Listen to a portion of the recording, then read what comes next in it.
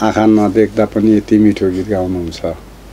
हुन त अघि मैले भने सेफी वन्डरले पनि चाहिँ आँखा देख्नुहुन्न थियो तर त्यसलाई हामीले शारीरिक दुर्बलता भन्दा पनि त्यही त्यही भाग्य मानेछु त्यही माथि आज छ वर्षीय बहिनी। रिबेकासँग पनि गीत गाएँ र मैले यो फ्री अफ कस्टमा गीत गाइदिइरहेको छु। र छ यस्तो। अब उहाँलाई दिने कृपया सुस्मिताको लागि तपाईँहरूले आर्थिक रकम पनि चाहिँ पठाउन सक्नुहुन्छ। नमस्कार दर्शकबिन। तपाईँहरू हेर्दै हुनुहुन्छ आइएमई मिडिया नेपाल र भिजन नेपाल टिभी। र आज हामी अनामनगर स्थित स्टुडियो किङमा छौँ।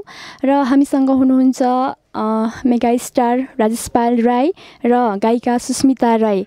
अघिल्लो इन्टरभ्यूमा हामीसँग सुस्मिता राईले राजेश पायल दाईसँग गीत गाउन एकदमै ठुलो धोको छ भनेर हामीसँग भन्नुभएको थियो र आज सुस्मिता र राजेश पायल दाईको डुएट सङ रेकर्डिङ भइसकेको छ र सुस्मिता राईको पनि ठुलो चाहना पुरा भएको छ। आज हामी उहाँहरूसँग यस गीतको बारेमा केही कुराकानी गर्नेछौँ। आउनुहोस् उहाँलाई स्वागत गरौँ।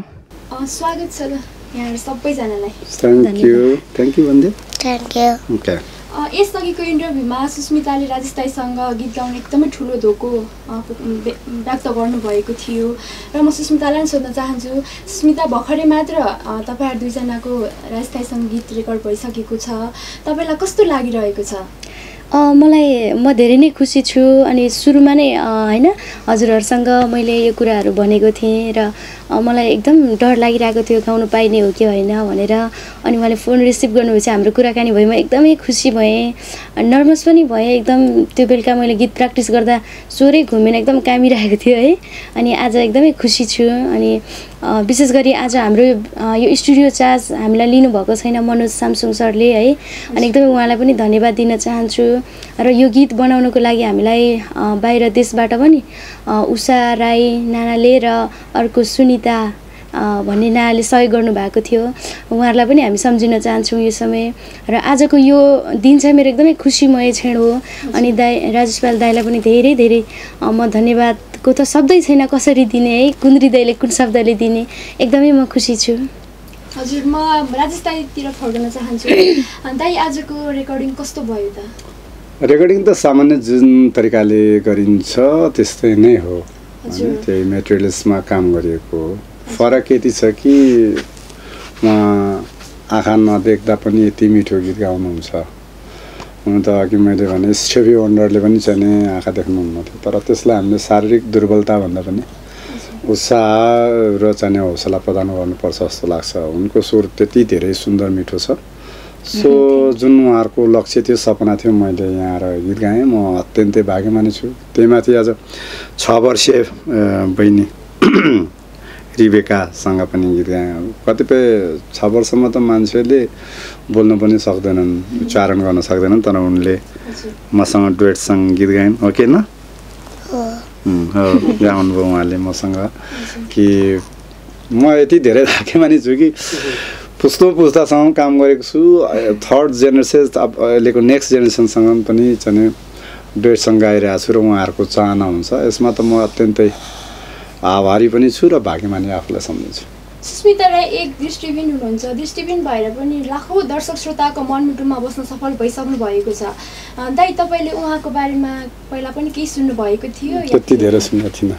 हजुर सुन्नुभएको थियो। फोनमा गर्नुभएको थियो। हजुर। मेरो फेरि फोन उठ्दैन। उहाँले सयचोटि त कल गर्नु होला थियो कसो नि यहाँलाई पनि तपाईँहरूलाई पनि म त्यो एउटा बताउनै चाहन्छु। मेरो व्यक्तिगत जीवनमा ज्यादातर फोनहरू आउँछ तर त्यो फोन कल्सहरू उठ्दैन।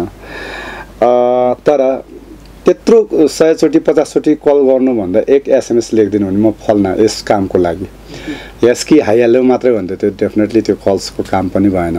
होइन कल्स भनेको कामको लागि मात्र पनि गरिँदैन कहिलेकाहीँ सुखबरको लागि पनि गरिन्छ कहिलेकाहीँ दुःखको खबर पनि दिने गर्छ। तर त यद्यपि मेरो फोनमा कल्स यदि उठेन भने सम्झनुहोस् कि म कि बिजी छु फोन लागेन सम्झनुहोस् कि म विदेशमा छु। यदि लागेको छ भने सम्झनुहोस् म नेपालभित्र छु। त्यति बेला उठेन भने चाहिँ एसएमएस गरिदिनु भयो भने उहाँले त्यसपछि लास्टमा म सुस्मिता हो यस्तो यस्तो यस्तो हो यस्तो भेटेको थियो अनन्तनगरमा भन्नुभएपछि त्यो कल छुट्यो र आज रेकर्डिङ भएको छ। कुराकानीको क्रममा म सानो बहिनीलाई पनि जोड्न चाहन्छु। आज तपाईँको पनि गीत रेकर्डिङ भएको छ राजेश दादासँग। कस्तो फिल भइरहेछ तपाईँलाई? राम्रो। राम्रो फिल भइरहेछ? खुसी लागिरहेछ? हो। र राजेश दाई म तपाईँलाई सोध्न चाहन्छु सुस्मिता एक दृष्टिबिन हुनुहुन्छ होइन? तपाईँले उहाँको सङ्गीत क्षेत्रमा कस्तो भविष्य देख्नु भएको छ? जीवन आफूले जिउने हो होइन? आफ्नो भाग्य आफैले गर्ने। तर कहीँ न कहीँ आफ्नो बाटो चाहिँ आफै बनाइनुपर्छ। कहिले काहीँ भाग्य हुँदा हुँदै पनि हाम्रो कथनै छ कि डोकोमा दुध दियो भने त्यो डोकोमा दुध रहँदैन। सो कि उसको फैसला उसको जिन्दगी उसको हात त उसको हातमै छ। तर डेफिनेटली अनुशासित रहेर स्वरलाई चाहिँ तिखारेर मेहनत गरेर आयो भने उसको भविष्य अघि मैले भनेको उसको अवसर अब प्राप्त भइसकेको छ उसको ढोका खुलिसकेको छ। सो अब चाल्ने कदम भनेको उहाँले आफैले नै हो। मैले त जहिले पनि ब्लेस गर्ने हो आशीर्वाद दिने हो कुनै न कुनै भएको खण्डमा अवसर दिने हो या कन्सर्ट्सको कुराहरूमा या रेकर्डिङको कुनै गीतहरू भएको खण्डमा लिऊ भन्ने सजेस्ट गर्ने हो। अब त्यो त्यही नै हो। अब मैले देख्ने भविष्य त उनको र उनको अत्यन्तै राम्रो छ। उनी त अझै बच्ची छिन् बिचरा। कि म भाग्यमान ठान्छु कि उनलाई पछि ठुलो भएपछि देख्ने छिन् अत्यन्त भाग्यमान छु। अब त्यही कारणले उहाँको भविष्य राम्रो छ। शब्द हाम्रो थामी खुसी भाइ अँ, दाइको अस्ति पनि हामीले कुराकानी गरेको थियौँ है। खुसी- खुसी धामी भाइ दाईको ओके। भाइ चाहिँ उसको टाइटल रहेछ ओके। हवाई चढी आउँछौ कि कान्छा बसैमा सहर पिरती लगाई घरबार जोडौ आउ कान्छा भोजपुर।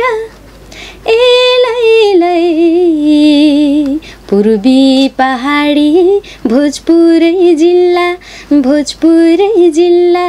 पर्खाइमा छु है यो जुनी काट्ने त्यो कान्छाका होला। पर्खाइमा छु है यो जुनी काट्ने त्यो कान्छाका होला। हजुर एकदमै मिठो गीत बनेको छ। यो गीत चाँडै नै दर्शक श्रोतामा पुग्नेछ र एकदमै चर्चित हुनेछ भन्ने हाम- आशा राख्दछौँ। र दाइ तपाईँ के भन्न चाहनुहुन्छ सुस्मिताको बारेमा दर्शक श्रोताहरूलाई? मैले अघि नै भने तपाईँहरूलाई ज जसलाई चाहिँ नि तपाईँहरू खुसीका हातहरू बढाउन चाहन्छ। सुस्मिताको लागि तपाईँहरू अझ ठुलो राम्रो मान्छे देख्न चाहनुहुन्छ। धेरै गीतहरू सुन्न चाहनुहुन्छ भने आर्थिक रकम पनि सहयोग गर्न सक्नुहुन्छ सुस्मितालाई। र तपाईँहरू विदेशमा हुनुहुन्छ मेरो आवाज आयोजकसम्म पुगेको छ भने कुनै न कुनै कार्यक्रममा बोलाइदिनु होला। त्यो नै उसको लागि अत्यन्त अहिले ठुलो खुड्किला हो जस्तो लाग्छ। हजुर। र दाइ म तपाईँको पर्सनल कुरातिर जान चाहन्छु। तपाईँको नयाँ आगामी योजनाहरू के छ? विदेश कार्यक्रमहरूबारे केही छ कि? बताइदिनुहोस् न है। ओके सो म भोलिको फ्लाइटमा युएसए अमेरिका जाँदैछु। र दसैँ तिहार मेरो त्यहीँ बित्ने छ र मेरो अक्टोबर तेह्र तारिकका दिन केन्टकी सहरमा छ सो। त्यसपछि जर्जिया एटलेन्टामा छ वासिङटन स्पोकेनमा छ न्युयोर्कमा छ अनि चाहिँ तपाईँको रिचमोन्ड भर्जिनियामा छ। त्यसपछि लगत्तै मेरो अस्ट्रेलिया छ अस्ट्रेलियादेखि क्यानाडा। र टु थाउजन्ड नाइन्टिनको फेब्रुअरीमा मेरो चाहिँ मलेसियामा सो छ। त्यो बिचमा यहाँ आएर चाहिँ मेरो दर्शन नमस्ते फोको काम सकिसकेको छ बम्बमा रेकर्डिङ भइसकेको छ त्यो दर्शन नमस्ते फो चाहिँ बजारमा ल्याउँछु तपाईँहरूमा आज ल्याउँछु। हजुर हामी कार्यक्रमको अन्त्य अन्त्यतिर आएका छौँ। दर्शक श्रोताहरूलाई के भन्न चाहनुहुन्छ? विशेषतः अझै जहिले पनि तपाईँहरूले माया गर्नुभएको छ आशीर्वाद दिनु भएको छ मलाई त्यही नै लाग्छ कि मैले गाली गरेर गाली गर्नुहोस् ताकि म त्यो नराम्रो काम गर्न आँटेकोबाट फुत्किएर राम्रो काम गर्न जाउँ। र राम्रो काम गरिरहेको छ भने तपाईँहरू डेफिनेटली मलाई ताली दिनुहोस् कि त्यो उत्साहले त्यो तालीले प्रोत्साहनले मैले अझ धेरै राम्रो काम गर्न पाऊँ। त्यो भन्न चाहन्छु। आज बुनुसँग गीत गाएँ। हजुर। अनि सुस्मिता बहिनीसँग गीत गाएँ। अत्यन्तै खुसी लागेको छ। लगभग सकियो भन्नुपर्ने कुराहरू। तपाईँहरूले एकदमै हामीलाई यो वास्ता गरेर आइदिनु भयो खुसी लाग्यो र हाम्रो दर्शकहरूले पनि आफू व्यस्त रहे पनि है हामीलाई सुनिदिनु भयो यति माया गरिदिनु भयो। अनि हाम्रो यो जुन कुराकानी आजको कुराकानी चाहिँ कसैको मन जित्नलाई होइन तर वास्तविक हाम्रो जीवनमा घटेको घटनाहरू हामीले प्रस्तुत गरेको मात्रै हो है। अनि त्यही भएर एकदमै म सुस्मिता राई तपाईँहरूको छोरी बहिनी मलाई माया गरिदिनु होला मेरो गीतलाई माया गरिदिनु होला आवाजलाई अनि अवसर दिनुहोला अ, भन्न चाहन्छु एकदमै है सहायता गर्नुहोला हजुर व्यस्तताको बावजुदमा पनि हामीलाई थोरै समय दिनुभयो धेरै धेरै धन्यवाद यहाँहरूलाई। Thank you